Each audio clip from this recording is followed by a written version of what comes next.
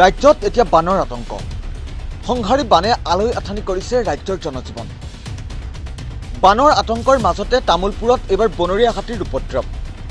নিশা তামোলপুৰ জিলাৰ ভাৰত ভূটান সীমান্তৰ আঙাৰকটা নতুন বস্তিত এয়া বনৰীয়া হাতীৰ জাকৰ তাণ্ডৱ।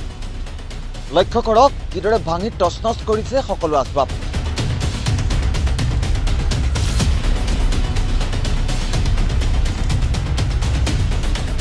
নিশাৰ ভাগতে গাঁওখনত বৃহৎ হাতীৰ এটা জাকে প্ৰৱেশ কৰি কেইবাটাও পৰিয়ালৰ বাসগৃহ ভাঙি লণ্ডভণ্ড কৰে।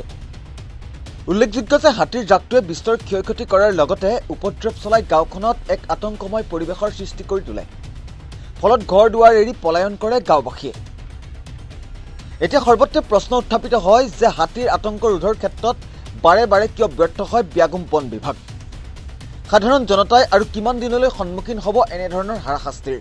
কি হ'ল হয় আজি আঙেৰটা নতুন বস্তি গাঁৱত যোৱা নিশা হাতীৰ এজাক দলে এই গাঁৱৰ চাৰি পাঁচগিৰি মানুহৰ একদম ঘৰ বাৰী ধ্বংস কৰিলে।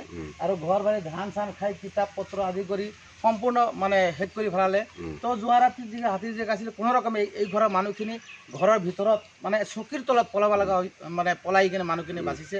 তো যদি কিবা কাৰণত মানে এই চকীৰ তলত নমালে হয়। এই মানুহখিনি মানে আজি মৃত্যুৰ মুখত পৰিব লগা হ'লা হয় আজি এই এইখন ঘৰৰ পকা ঘৰ পকা ঘৰ এটা ভাঙি মানে তচনচ কৰি পেলাইছে ধান খাইছে আলু পিঁয়াজ যি আছে মানে ঘৰত সকলো বস্তু শেষ কৰি পেলালে। আজি এইটো ঘৰৰ অৱস্থা একেবাৰে নাই একো মানে সকলো নাইকিয়া হৈছে। তো আজি এইখিনি বস্তু আজি যি হাতীৰ উপদ্ৰৱ। সেইকাৰণে আমি চৰকাৰক অৱগত কৰাইছোঁ আৰু চৰকাৰক আমি আহ্বান জনাইছোঁ যাতে এই পৰিয়ালটো লগতে আৰু এই এই গাঁৱৰে আৰু ছয় সাতগিৰি মানুহৰ ছয় সাতটা পৰিয়ালৰ যি ধ্বংস হৈছে সকলো যাতে চৰকাৰে তদন্ত কৰি তেওঁলোকৰ উপযুক্ত ক্ষতিপূৰণ দিয়ে তাৰ বাবে আমি আহ্বান জনাইছোঁ। নৰ্থ ইষ্ট নাও।